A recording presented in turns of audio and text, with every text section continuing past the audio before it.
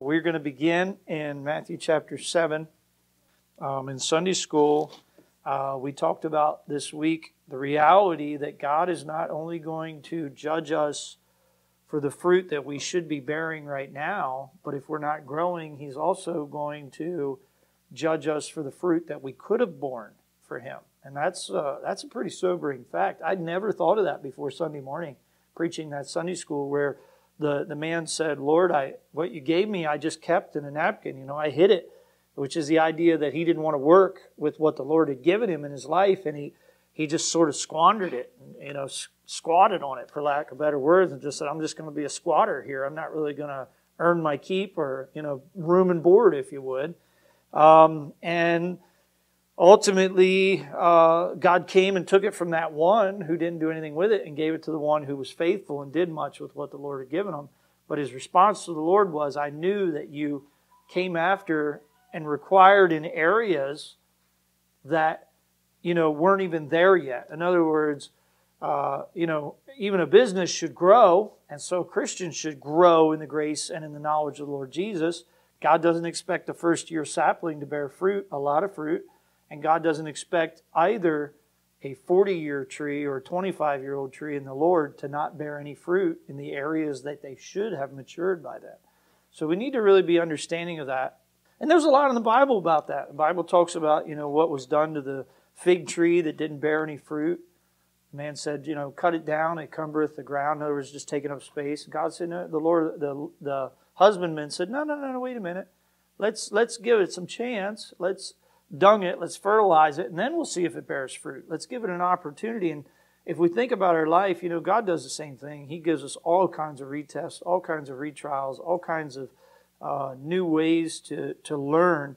Um, and I, I was uh, reading tonight, you know, we call it retest, but have you ever gotten to a place in your life where you just do something all over again? And you're there again. You're like, oh, this seems familiar, Lord. It feels like you brought me to this place in my life before, and I think you want me to pass this time. Almost like deja vu moments, if you would. God doesn't say, you failed, that's it, I'm done with you. And, and the reason I'm, I'm bringing that in here tonight is because I want to talk about our stand for the Lord. Our stand for the Lord. And often the world calls on us to, I should say, the Lord calls on us to stand.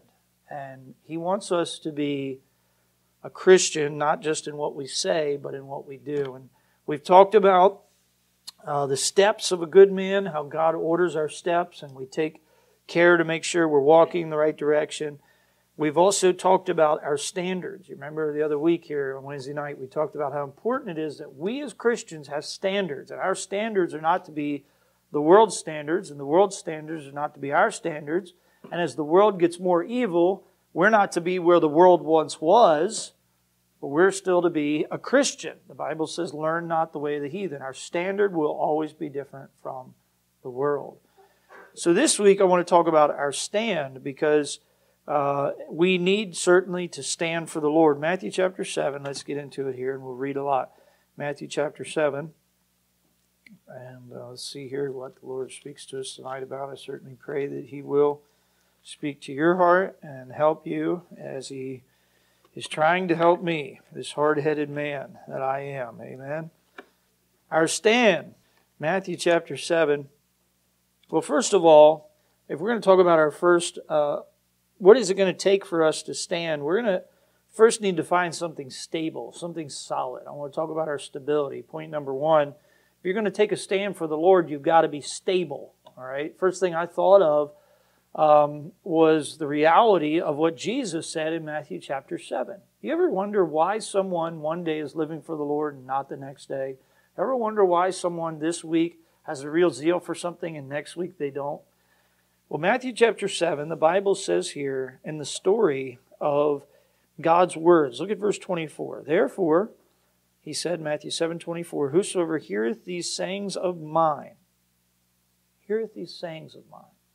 What, what is he saying? He's saying his word. Who, who hears God's word and does something with it? And he says here, and doeth them. I will liken him unto a wise man which built his house upon a rock. And the rain descended, and the floods came, and the winds blew and beat upon that house, and it fell not, for it was founded upon a rock. Now, this is so simple and yet so serious in our faith. If we're going to stand for the Lord and His Word, we have to obey it.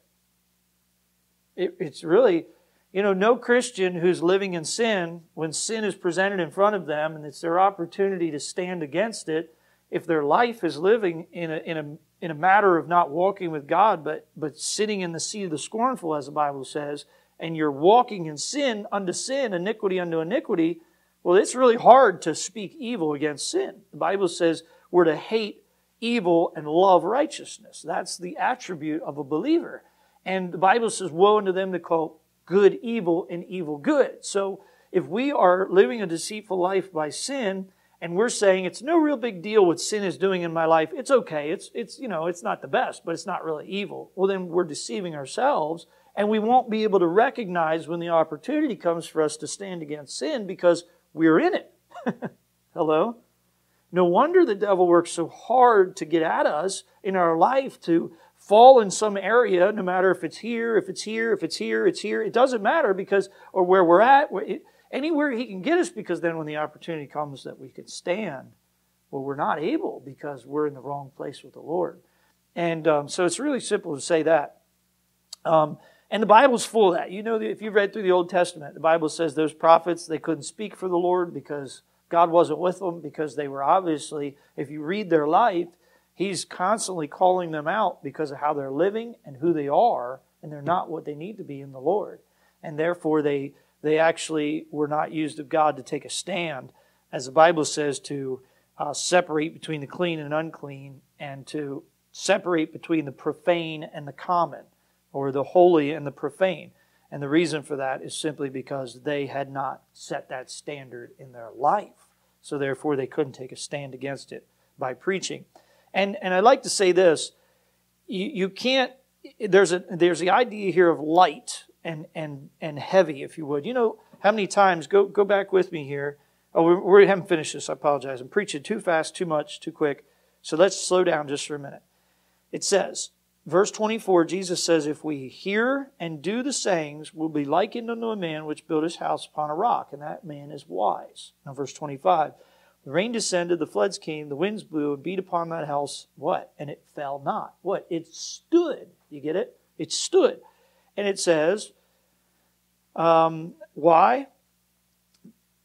For it was founded upon a rock. So if we are going to be able to stand for the Lord, we have to be upon the firm rock. We have to be standing uh, upon God and His Word, which means we have to be found in it. Okay? You can't, sometimes we skirt around it and we say, well, I see what's right I, I know what's right, but that doesn't mean we are where we need to be, which is right with the Lord. And that is a deceitful thing of the heart. You can say, well, I know what's right, but just that's not the same as being right with the Lord. Well, you know, I can see what's right. I know what I need to do there, Lord, but that doesn't mean you are right with the Lord and doing what is right with the Lord. That's, and, and I, I warn you of that because I know I'm guilty of it in my life.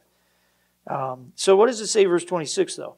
Everyone that heareth these sayings of mine and doeth them not shall be likened unto a foolish man which built his house upon the unstable, the sand. And the rain descended, the floods came, the winds blew and beat upon that house, and it fell, and great was the fall of it. So the idea here is that the stand is not possible unless we have stability, and you can't have stability unless you're upon something solid. And of course, we know the Bible is the rock of God's word, and Jesus Christ being the same according to the word of God. He is our sure uh, confidence. So, and, and of course, something else here is sound doctrine. We can't base our life on what a person teaches us. This Sunday morning, I will be making a correction in my message that I preached last Sunday morning on the doctrine of Dan. I made a mistake and preached something that was not biblical. And my wife, she's making a CD right now, and she sent me a text message on the doctrine of Dan saying, I'm making a new CD. And I went, Stop. I have to make an amendment to that. I was wrong about something. I have to go back and add a little bit to that. And she said, You got three minutes. I said, I can fit it in there. We'll put it on the CD. So come Sunday morning and find out what I preached wrong last Sunday morning. And uh, I didn't have it all together. And what's amazing by this is I got talking to another preacher on the phone on the way to church tonight or sometime today. And he said, I started talking to him, telling him about how I'd made the wrong, I preached the wrong thing on the doctrine of Dan. There was something I, I very wrong about. And he said, Well, what do you know? I thought the same thing you did. And I thought, Well, brother, we both know our Bible, we've been reading it, and somehow we both missed that. And so um, the reality is, if you just take every word that a preacher says and believe every word a preacher says, you're going to be in a mess. And uh, I'm not ashamed to say I was wrong and that I'm capable of preaching something wrong out of the Bible. So that's why I admonish you as believers continue to not build your faith on the sand, but on the rock. Amen. Not the man, but the man, Christ Jesus, the rock and his word. Okay. And um, that's why I think a lot of times when preachers leave, you know, what did you come to the church for? Did you come to hear God's word, or did you come to hear that man? And um, you know, that's that's. I think sometimes we're a little bit too much of followers of man instead of followers of this book. Um, if we're believing this is God's house, it should matter not who stands in this pulpit, but as long as it's the one that God chose, and as long as they're out of this book that God chose to teach us from. So, um, putting that in our minds, we, we need to understand that we don't want to make a false balance. Let's go to Proverbs here. Um, a false balance. Now, this, of course, is talking about uh, the fact when people would weigh things, you know, like how you you know how it is when you go there to the um, uh, giant food stores, you're getting your oranges, you're getting your tomatoes that are six six dollars and seventy eight cents a pound, you know, and it's it's pretty crazy. It's pretty crazy. I, I heard people talking about it the other day, you know. And um, we need to be careful. Uh, Proverbs here, uh, what is today's date? Okay, chapter 11, I read yesterday. False balance. Look at this, chapter 11. Thank you. Proverbs chapter 11, verse 1. I read this yesterday and I thought, hmm, that's good. So if we went to, to Giant, we'd be pretty upset if, you know, it was one pound tomato and it rung up two pounds. I mean, everybody would.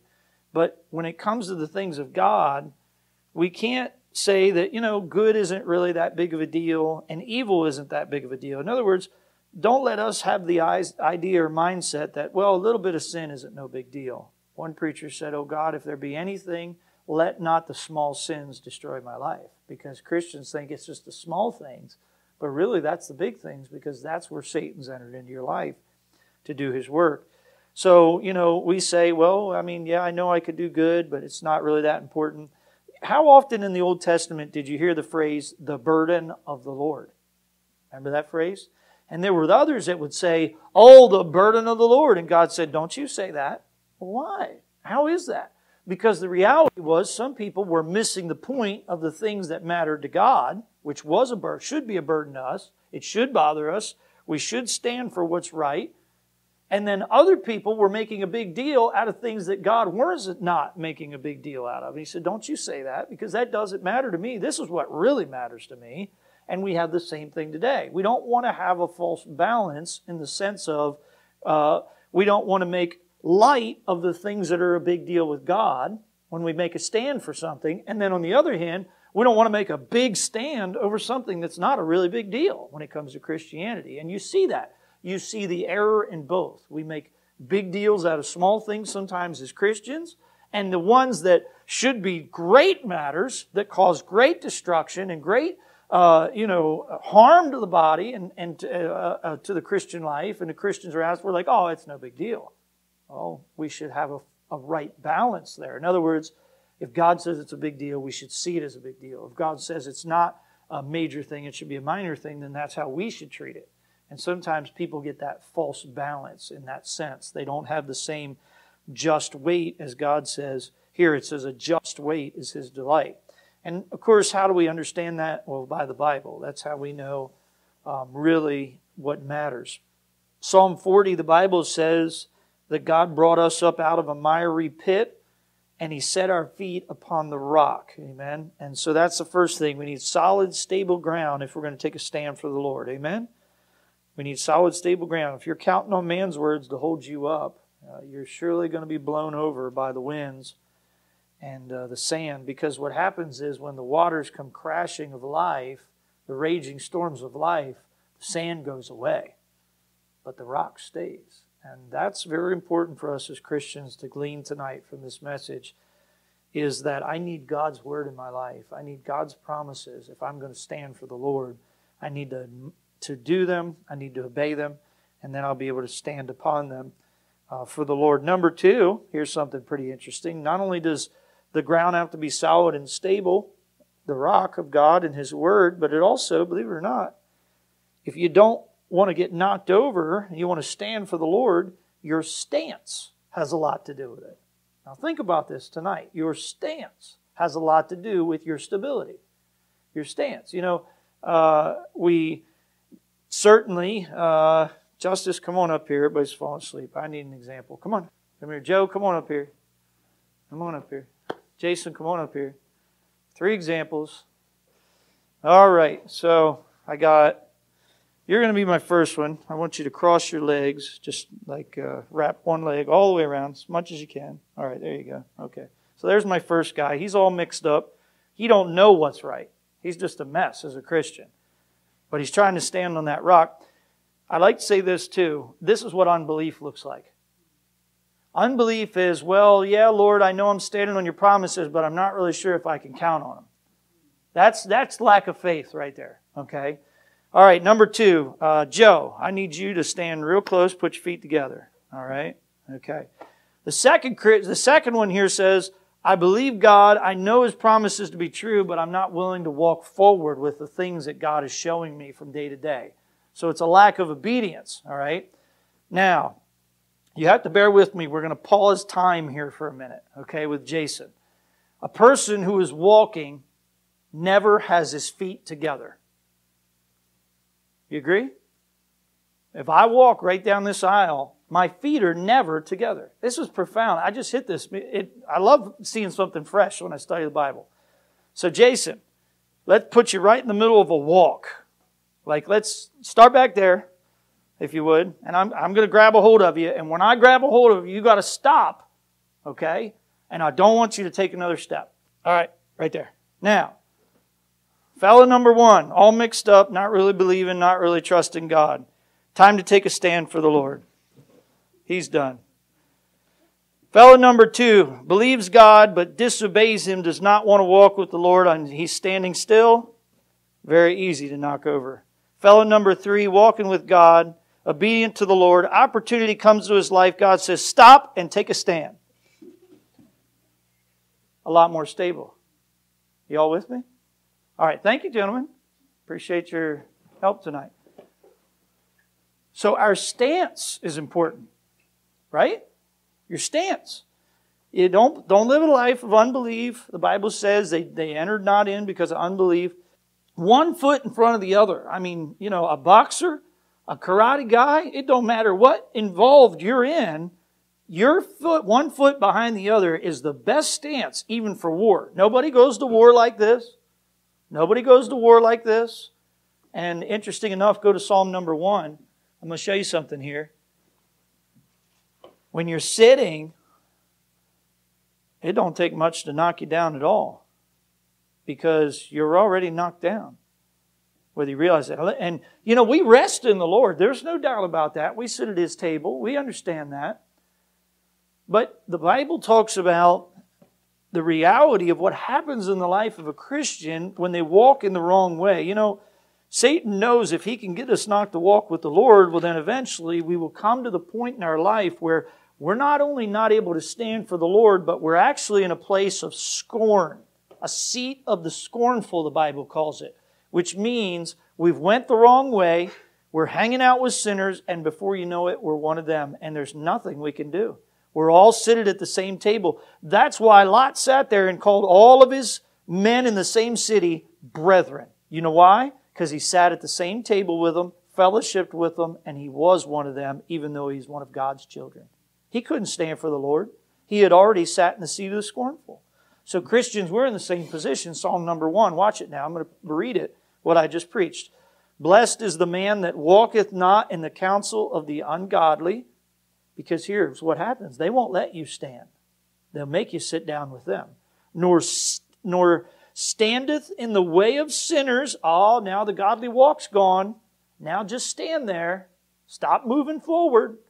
And eventually it says, nor sitteth in the seat of the scornful. That is the progression of a life of a sinner. They walk away from God, they begin to, to enjoy the company of sinners, and eventually they sit in the seat of scornful. Christians, you and I cannot stand for God if that progresses in our life. That's the reality of it, all right? So look at this. Uh, our stance is important. Amen?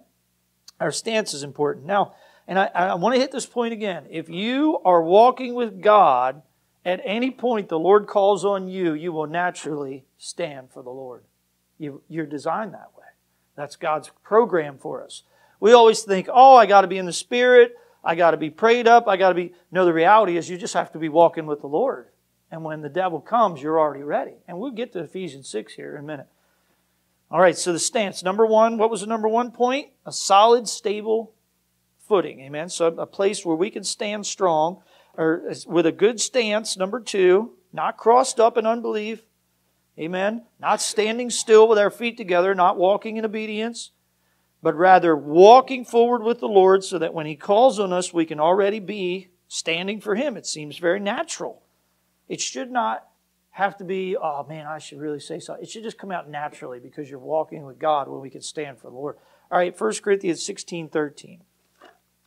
1 Corinthians 16 13. So here's what Paul tells the Christians. He said, Watch ye and stand fast in the faith. So you've got to be in the faith. You've got to be walking with the Lord. Quit you like men, and we know what that means. It means don't quit. It means fight to the death. Amen. You can't fight as you're sitting down in the sea of the scornful. And then it says, be strong. Be strong. Point number three be strong in the grace of God and His Word.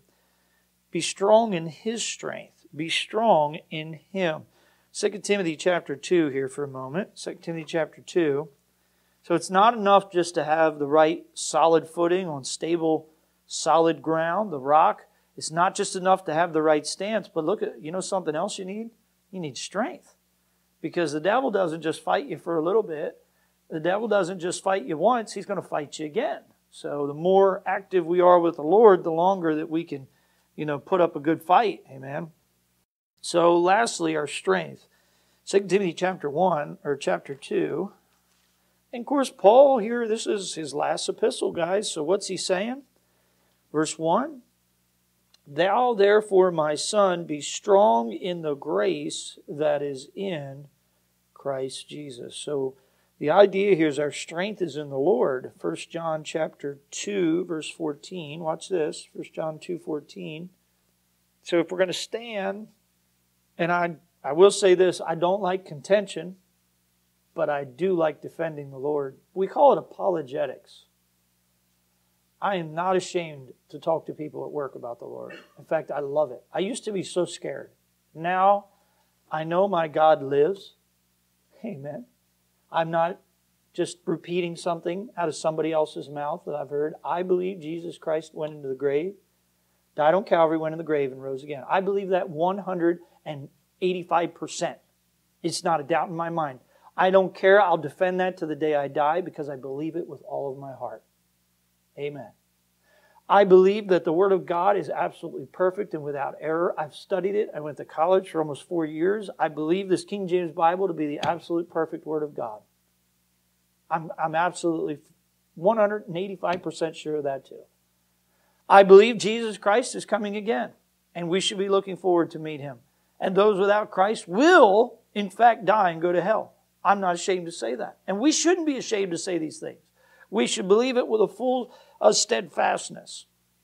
And, um, you know, as we look at this, it says 1 John 2.14, and here's the great thing about reading God's Word.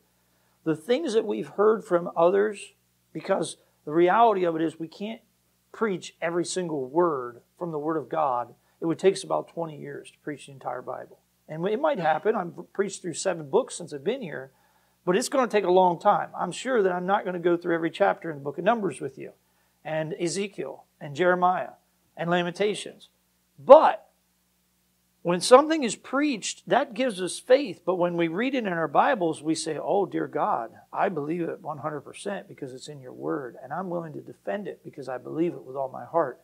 And, and the Bible says faith cometh by hearing, and hearing by the word of God. So if we're to stand fast in the faith, the more we read of this, the more it gets into here, and the stronger we are as Christians in defending the faith. Sometimes we say, well, why, why are we weak? Well, how much are we spending in this book? And actually, the more we spend in this book, the more we'll trust God, the more we'll believe God, the more we'll be able to stand for God. 1 John 2.14 says that. Watch. I have written unto you, fathers, because you have known him that is from the beginning. I have written unto you, young men, because you are strong, and the word of God abideth in you, and you have overcome the wicked one. So spiritual warfare is real, victory is real, and we are to have strength in God, His Word. And according to this, the Bible says the more of God's Word that abides in us, the stronger we are to stand.